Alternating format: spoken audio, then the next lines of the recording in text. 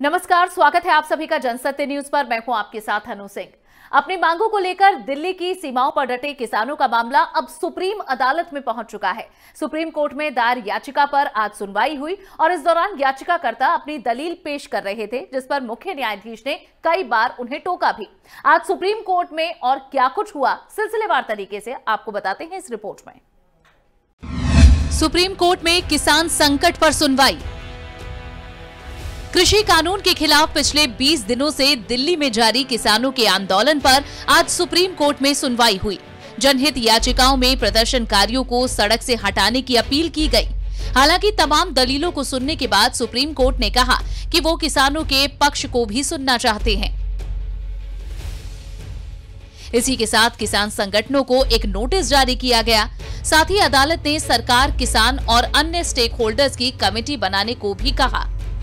Chief justice की अगुवाई वाली बेंच ने कहा कि राष्ट्रीय मुद्दा सहमति से सुलझना चाहिए। ऐसे में जल्द से जल्द कमेटी बनाकर चर्चा हो।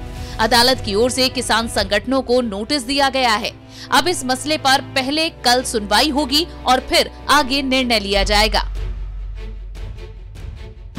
सुप्रीम कोर्ट में सुनवाई के दौरान क्या हुआ? याचिकाकर्ताओं की ओर से सुप्रीम कोर्ट में शाहीन बाग का हवाला दिया गया। सुनवाई के दौरान चीफ जस्टिस ने कहा कि ये एक महत्वपूर्ण विषय है। सुनवाई के दौरान चीफ जस्टिस ने पूछा कि आप चाहते हैं कि बॉर्डर खोल दिए जाएँ? वकील ने कहा कि अदालत ने शाहीन बाग केस के वक्त कहा था कि सड़कें जाम नहीं होनी चाहिए। बार बार शाहीन बाग का हवाला देने पर चीफ जस्टिस ने वकील को टोका। शाहीन बाग में कितने लोगों ने रास्ता रोका था? कानून व्यवस्था के मामलों में मिसाल नहीं दी जा सकती।